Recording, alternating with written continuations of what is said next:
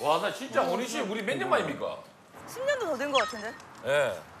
지금 지금 전 되게 굉장히 지금 어려운 게 세 분의 MC분 너무 선배님들하고 있으니까 너 너무 할 말도 못하겠어 진짜. 야 할 말 다 하면서 너는 왜 계속 진짜? 그런 저 편하게 할 거 아니야. 그래, 너도 적지 않은 나이야.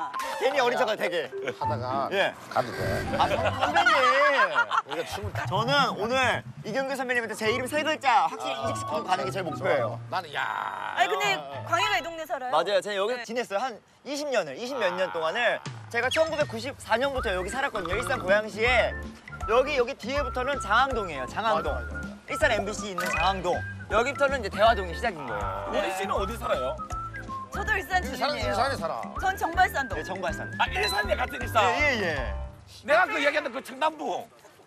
이거 이거 이거 드디어 이거 이거 큰일 났어. 이거 이거 얘기하는 거야. 원희 씨. 네. 이거 확인해봐. 봐. 여기 들어있네 밑으로. 이게 여기가 이거 이게 아니야. 낮에 뜨는 별이라 그러는 거거든. 벨이 아니라 별이겠죠. 낮에 뜨는 별. 벨이 아니고. 벨이. 이거를 옆으로 옆으로 보는 게 아니고 네. 이거를 밑에서 하늘로 이렇게 이제 별 모양으로 이렇게 하늘을 보는 거 이렇게.